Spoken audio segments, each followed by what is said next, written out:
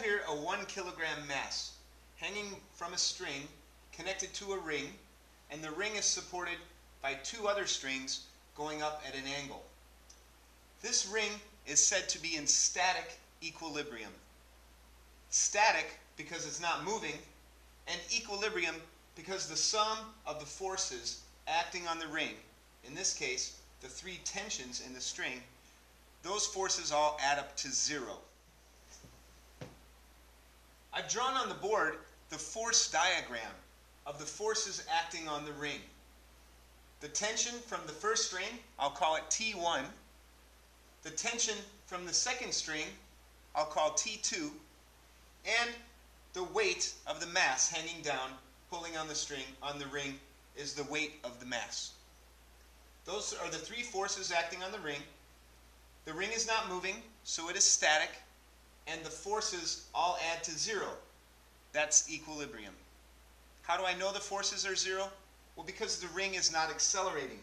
And Newton's second law tells us that the sum of the forces is equal to mass times acceleration. So if the acceleration is zero, the sum of the forces must also be zero. I've redrawn the force diagram on my uh, interactive whiteboard. Again, these are the two tensions in the string going off at an angle, and this is the tension in the string with the weight of the mass hanging down at the bottom. Right here is where the ring is located. These are the tensions, the hanging mass, and gravity, of course, is 9.8 meters per second squared. The ring is not accelerating. It's at static equilibrium. We know that equilibrium means the velocity doesn't change. In other words, the acceleration is zero. According to Newton's second law, the sum of the forces is mass times acceleration, and if the acceleration is zero, then the sum of the forces must also be zero. I'm going to work separately in the x and the y directions. So the sum of the forces in the x direction tell me the acceleration in the x direction. The sum of the forces in the y direction give me the acceleration in the y direction. But since the acceleration in both the x and the y is zero, the sum of the forces in the x and the y are both going to be zero. So I've added a coordinate system to my force diagram so that I can work in the x direction and the y direction.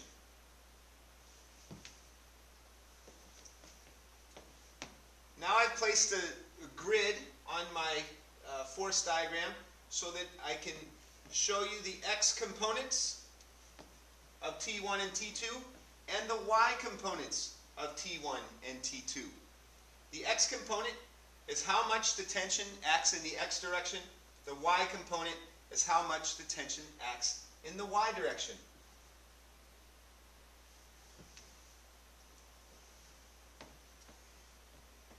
When I look at T1, for example, there is an angle that, T, that T1 makes with the x-axis.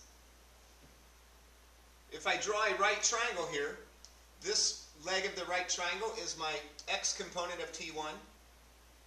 This leg of the triangle is the same as this side of this rectangle, so this leg of the triangle is my y component of T1.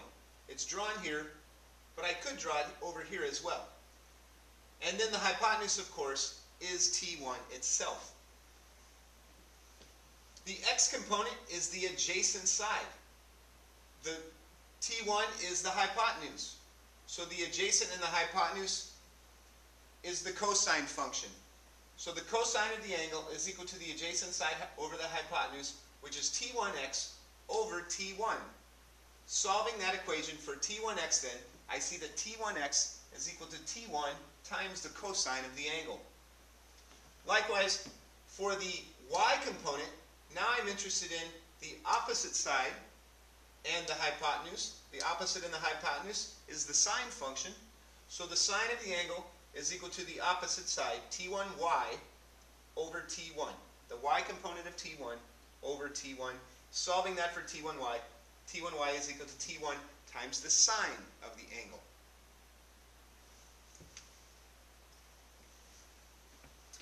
Likewise, for T2, I do the same analysis. Here's theta.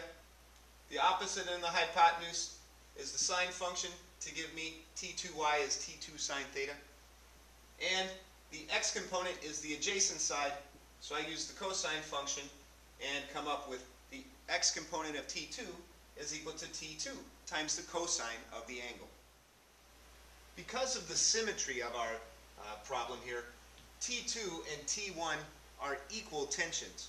Therefore, I'm just going to go ahead and replace T1 and T2 with a single variable, T. Also, I'm going to look at the weight and I'm going to calculate its value. I know that the mass that I hung from the string is one kilogram.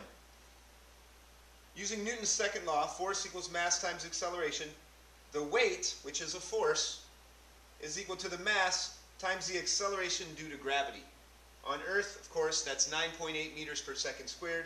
So when I multiply the mass, 1 kilogram, times the grav gravitational uh, value of 9.8 meters per second squared, 1 times 9.8 is 9.8 newtons. Newton is the unit for a kilogram meter per second squared. It is a unit of weight. Weight is a force. So here I'm looking at the sum of the forces in the x direction. Okay?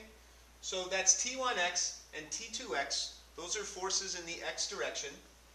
T1x is positive. I'm using my conventional uh, x-axis notation that to the right is positive and to the left is negative. So the two forces, T1 and T2x, T1 is positive and T2x is negative. I'm going to sum them. This is the Greek letter sigma, S, standing for sum. I'm going to sum them. T1x is positive, T2x is negative, and I know they equal to 0 because it's not accelerating. So if there's zero acceleration, the sum of the forces must be 0. When I move this to the other side, I show here that the x component to the right is equal and opposite to the x component to the left.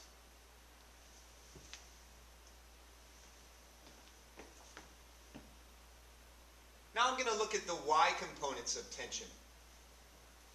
T1y points up the positive y direction. T2y also points up the positive y direction. They're both equal to t sine theta. Again, t1 sine theta, t2 sine theta. Since t1 and t2 are the same, I'm just going to call them t. So they're both equal to t sine theta. So now when I do my sum of the forces in the y direction this time, equals mass times acceleration in the y. It equals 0 again because it's in equilibrium.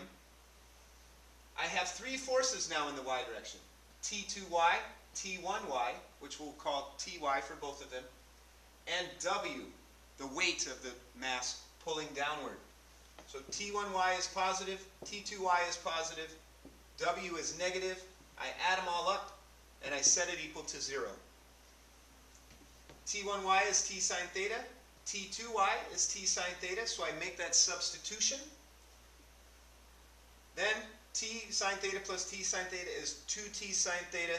I move the w to the other side of the equation, and I solve for t, and I see that the tension in each of these strings is going to be equal to the weight of the mass divided by 2 times the sine of the angle that the string makes with the x-axis.